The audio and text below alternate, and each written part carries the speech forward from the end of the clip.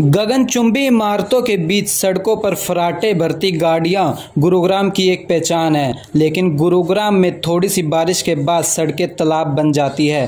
प्रशासन हर साल लाख दावे करता है कि जल भराव की समस्या इस बार नहीं होगी। लेकिन इंद्रदेव गुरुग्राम पर इतना मेहरबान है कि थोड़ी सी बारिश में पूरे शहर को पानी पानी कर देते हैं। बारिश के बाद शहर में जगह जगह जल भराव की समस्या शहर पर मेहरबानी है या फिर अधिकारियों की एक बड़ी लापरवाही कार्रवाई यह तो सत्ता में बैठे हुक्मराम भी जानते हैं, लेकिन हर साल खाली गाल बचाने के अलावा कुछ नज़र नहीं आता है। गुरुग्राम में पानी निकासी को लेकर नगर निगम और जीएमडी की जिम्मेवारी है, लेकिन धरातल पर जो काम होना चाहिए वह अभी तक नहीं हुआ है। और पिछले कई सालों से दावे और वादों के बीच हर बार गुरुग्राम वासियों को जल की समस्या से जूझना पड़ता है। सर, जिस तरीके से पहली बारिश में गुरुग्राम में जल भराव हो गया तो अब किस तरीके से उससे निपटा जाएगा? एक हेल्पलाइन नंबर भी जारी किया गया है। क्या कहें? हमारे जो कमिश्नर मिस्टर आहूजा साहब हैं, वो इस मामले को लेके बड़े, बहुत ज़्यादा इसमें मतलब वो सीरियस है इस मामले को लेके, कि भाई हम चाहते हैं कि भाई जो गुरुग्राम के अंदर जल भराव की जो स्थिति है, वो किसी प्रकार से भी ना हो। और लोगों को सुविधा मिले, जाम ना लगे, और पानी लोगों के घरों तक बारिश का ना पहुँचे और लोगों को बारिश में इसका सामना ना करना पड़े। लेकिन मैं थोड़ा सा ये भी कहना चाहूँगा कि पॉपुलेशन इतनी ज़्यादा बढ़ गई है, जहाँ पे हमें तीन या चार फैमिलीज़ का रहने की जगह थी, वहाँ पे पंद्रह पंद्रह फैमिलीज़ रह रही चाहे वो फ्लोर करके, चाहे वो कंजेशन करके लोगों ने बहुत ज़्यादा मतलब भीड़ हो गई तो उस भीड़ होने के कारण क्या होता है कि भाई, जो हमारे सीवर लाइन है, जो हमारे पीने के पानी की व्यवस्था है, जो सीवर लाइन है, पानी की निकासी व्यवस्था है, वो तो उतनी ही है। क्योंकि पॉपुलेशन बहुत ज़्यादा बढ़ गई। तो इसके लिए भी काफ़ी दिक्कतों का हमें सामना करना पड़ता है। लेकिन हम पूरी कोशिश ये करेंगे फिर भी हम लोगों को सुविधाएँ उपलब्ध कराएँ। हमारे कमिश्नर साहब इस मामले में बहुत ज़्यादा सीरियस हैं और उन्होंने बार बार मीटिंग भी इस बारे में ले रहे हैं। और ये जो आ, पानी है ये पानी आ, जो अपनी साइड में हमने इसमें खुदवा के इसको ट्रेंच खुदवा के और हम इस पानी को आगे ले जाके वहाँ पे उसमें डलवा रहे हैं। तो जिसके कारण से जो एकदम बारिश आती है तो उस टाइम तो भराव हो जाता है लेकिन धीरे धीरे पानी निकल वहाँ से सर जिस तरीके से हर बार देखा जाता है जल भराव की स्थिति गुरुग्राम में होती है क्यों पहले से ही ड्रेनेज जो सिस्टम है उसकी साफ़ सफ़ाई नहीं की जाती? अधिकारी क्यों पहले लापरवाही करते हैं तो? ड्रेनेज सिस्टम जो है उसकी साफ़ सफ़ाई भी करवाई जाती है।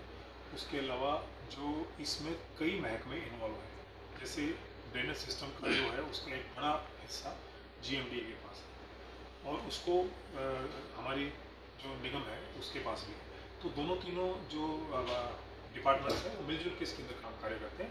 लेकिन कई बार क्या होता है कि बारिश इतनी तेज आ जाती है कि उसके कारण एक बार सारा सिस्टम रुक जाता है और वो धीरे धीरे धीरे करके अपनी स्पीड से वो सर अब मानसून की पहली बारिश अब आगे भी मानसून है तो उसको लेकर क्या तैयारियाँ हैं अधिकारी? इसके लिए हमने हमारे जो चीफ इंजीनियर साहब हैं हमारे सुपर इंजीनियर है एडिशनल सुपर इंजीनियर है असिस्टेंट इंजीनियर हमने इनके सबके साथ दोबारा मीटिंग की है और उनको ये कहा गया कि जहाँ पर भी मोटरों की ज़रूरत है जहाँ पर भी पानी निकासी के लिए मजदूरों की ज़रूरत है, साफ़ सफ़ाई के लिए किसी भी तरह की ज़रूरत है तो उस पर आप इमीजिएटली उसको, उस पर वर्कआउट कीजिए और कोशिश कीजिए कि लोगों को जल भराव की स्थिति सामने ना आपको बता दें कि गुरुग्राम में बारिश के बाद पानी निकासी के लिए बाशापुर नजफगढ़ ड्रेन एकमात्र ज़रिया है। लेकिन बाशापुर ड्रेन में अभी भी काफ़ी सफ़ाई की ज़रूरत है। कई जगह पर मिट्टी भरी हुई है और यही कारण है कि मानसून के दौरान बारिश के बाद पानी निकासी में काफ़ी दिक्कत आने वाली है। और यही कारण है कि आने वाले दिनों में भी गुरुग्राम को डूबने से प्रशासन कैसे बचाएगा?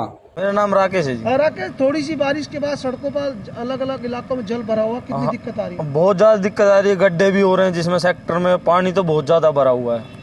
कहाँ से आते हो मैं यहीं सेक्टर नौ के यहीं पेट्रोल के सामने से आता हूँ कॉलोनी फिरोज गांधी कॉलोनी से। तो आप सड़कों से गुजरते हुए कितनी दिक्कतें देखने को बहुत दिक्कतें आ रही है रोड भी टूटे हुए हैं जाम भी लग जाता है और पानी भी बहुत ज़्यादा भरा हुआ है।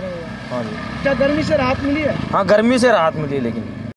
गुरुग्राम के Hero Honda Chowk, Signature Tower, IFFCO Chowk, Subhash Chowk, golf course extension road, sector 15 sector 10 Palam Vihar, Udyog Vihar, sector सैंतीस कुछ ऐसे चुनिंदा पॉइंट्स हैं जहाँ जलभराव की समस्या हर साल देखने को मिलती है। इसके अलावा गुरुग्राम के तमाम अंडरपास में भी जलभराव की समस्या देखने को मिलती है और यही कारण है कि नगर निगम और जीएमडी की तरफ़ से दावा किया जा रहा है कि वहाँ एक्स्ट्रा पंप लगाए गए हैं जिससे जलभराव यदि होता है तो तुरंत पानी को बाहर निकाल दिया जाएगा।